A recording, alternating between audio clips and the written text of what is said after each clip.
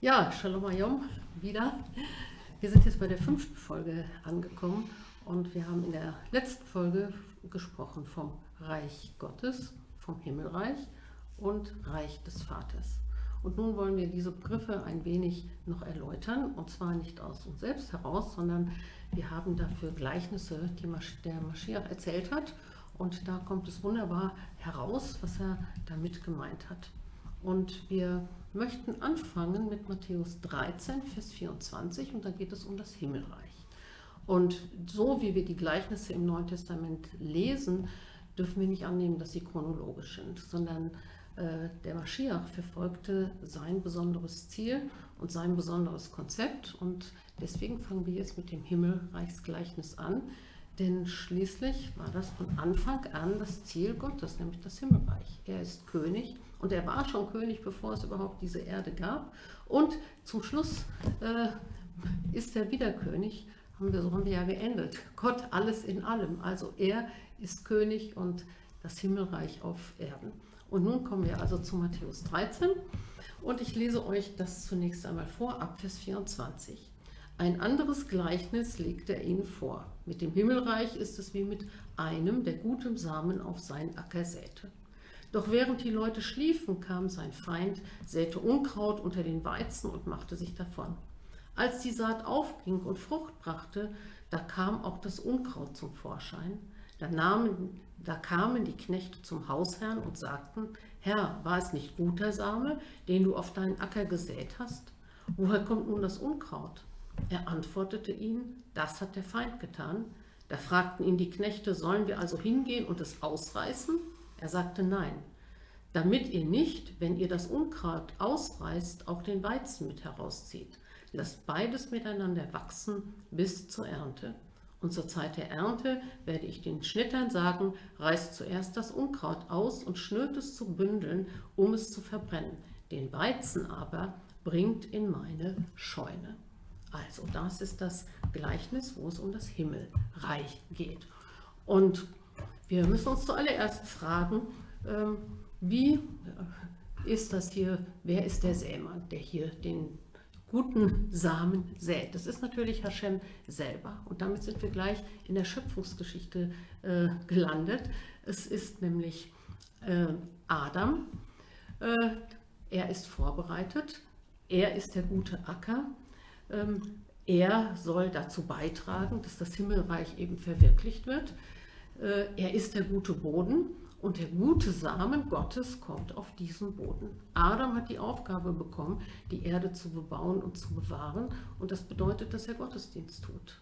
Und indem er eben den Gottesdienst tut, bewahrt er und bebaut äh, die Erde.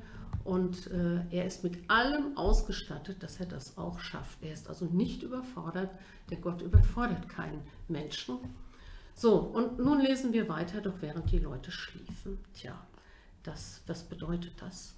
Wir erinnern uns, zuallererst schafft, Adam, äh, schafft Gott den Menschen, also Adam. Und dann lesen wir weiter, ich lasse jetzt jede Menge aus, äh, lesen wir weiter, es ist nicht gut, dass der Mensch allein sei. Und dann kommt schließlich äh, die Frau und sie wird aus Adam genommen. Da lesen wir die Rippe, es ist die Seite, die weibliche Seite wird aus ihm genommen. Und äh, dazu macht Gott eine, ja, sogenannte Operation. Und wir denken, es kommt eine Art Narkose, aber genau das ist nicht hier gemeint, sondern Hashem versetzt den Menschen in einen Schlaf. Das hebräische Wort ist hier Tanema und das bedeutet, er kommt auf eine andere Bewusstseinsebene. Und nun bekommt er die Chava, auch hier kürze ich jetzt wieder ab, und die beiden zusammen. Also haben wir jetzt zwei Menschen, Adam und Chava. Allerdings haben die beiden nicht das äh, Bewusstsein, was Adam vorher hatte. Also im Grunde genommen ist Adam aus diesem Schlaf nie erwacht. Eine andere Bewusstseinsebene. Und, das, äh, und jetzt haben sie wieder eine Aufgabe, nämlich sie müssen jetzt miteinander leben. Und äh, äh, wir lesen im Midrash, dass es zu einem Streit kam. Sie haben sich gestritten und zwar äh, wird einfach gesagt, wer oben liegt. Ja, was bedeutet das? Es geht hier um Macht. Wer hat das Sagen? Und äh, der Adam sagte, ja, ich äh, habe die Macht, ich bin älter, ich war vor dir da. Und die äh, Chava sagt, ja, ich bin hier die Vollendung der Schöpfung, äh, ich äh, habe, habe die Macht, ich habe das Sagen. Und sie können sich einfach nicht einigen. Und das wäre eigentlich ihre Aufgabe gewesen, dass sie beide sich einigen und natürlich auf Gott hören. Was hat Gott eigentlich gesagt? Wie einigen wir uns? Und äh, Gott sagt dann zum Adam, weil du auf die Stimme deiner Frau ge gehört hast und er hätte auf die Stimme Gottes hören sollen. Und das hat er nicht gemacht. Und so einigen sie sich eben nicht. Der Streit kommt äh, hinein und das wiederum bewirkt, dass sich hier eine Tür öffnet für die Schlange, die im Garten hier sitzt und äh, äh, wartet auf eine gute Gelegenheit. Und die, äh, der Mensch selber gibt jetzt durch diesen Streit die Vorlage. Und dann kommt eben der Feind, ja, die Schlange, und sät äh, den schlechten Samen. Und äh, dann äh, kommt, geht die Saat auf und es kommt das äh, Unkraut äh, zum Vorschein. Eben die Tat des Menschen, dass er dann eben von der Frucht, von der er nicht essen sollte, äh, isst.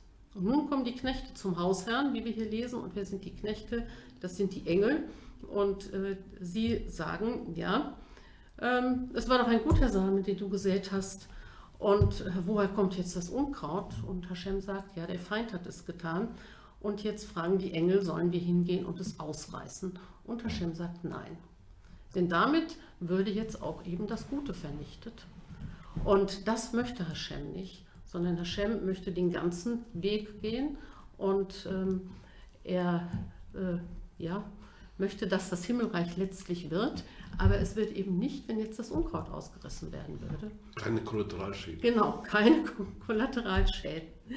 Und so wächst eben beides miteinander bis zur Ernte, also eben bis ans Ende der Zeit. Und dann kommen die Schnitter und dann wird zuerst das Unkraut äh, ausgerissen. Äh, also das ist eine Situation. Aber es gibt noch äh, weitere äh, Situationen. Wir haben ja auch vorhin gesagt, Hashem, ähm, äh, das Himmelreich, das kommt in, in Etappen, also in, in, Schritten, also nicht sofort, sondern äh, Hashem gibt dem Menschen äh, Zeit. Die Saat muss eben aufgehen. Und ähm, also Baruch, wenn ich jetzt es besser formulieren kann, kannst du ruhig eingreifen. Okay, dann mache ich weiter. Und die nächste Situation ist eben dann ähm, in, am Sinai, als Gott Israel aus der Wüste geführt hat, der den Bund mit ihnen schließen möchte. Und dann ist Moschee plötzlich weg und dann kommt äh, eben halt die Frage, wo ist Moschee? Wer wird uns führen? Ist eigentlich auch so eine Art Streit. Wer wird uns führen? Äh, und wer hat jetzt das Sagen? Und wir wollen praktisch äh, jemand, der uns führt. Und dann kam die Sache mit dem goldenen Kalb. Jetzt eine Sache muss ich unbedingt jetzt noch sagen. Äh, das goldene Kalb, wer waren die, äh, äh, wer hatte die Idee von dem goldenen mhm. Kalb? Das war das viele Volk, was mitgegangen ist. Das Mischvolk. Das Mischvolk, genau. Eref Rav, so wird es genannt. Sie forderten unbedingt dieses äh, goldene Kalb. Denn Sie waren ungeduldig. Die Ungeduld trieb sie dazu. Sie hätten eigentlich nur einen Tag länger warten müssen, dann wäre Moschee schon gekommen. Aber sie konnten es nicht mehr aushalten und äh, so wurde das goldene Kalb eben gebaut. Und schon wieder kommt eben der schlechte Samen jetzt hier, hier hinein. Und äh, wieder, äh, Gott will keinen Kollateralschaden, sondern äh, er tritt letztlich einen Schritt zurück und gibt dem Volk eine zweite Chance. Moschee betet für sie und äh, er wirft sein Leben in die Waagschale und Hashem sagt, ja, ich, äh, ich verzeihe. Also wieder eine Situation, wo das Gleiche hier passiert äh, ist und das Volk hat letztlich äh, auch geschlafen hier. Es hat nicht äh, dem Eref Rav gewährt und es haben die Leute schließlich mitgemacht, bis auf die Leviten. Die haben nicht mitgemacht. Und dann äh, springen wir weiter. Es gibt dann also eine weitere Situation. Da ist äh, Jeshua dann, dann schon da und er bittet seine äh, Talmidi, mit ihm zu kommen und mit ihm zu beten.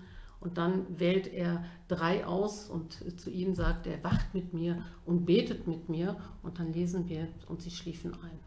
Und das ist schon nahezu äh, prophetisch. Und dieses Wort, was dort in der hebräischen Übersetzung von Rav Salkinson steht, ist dann wieder Tadema.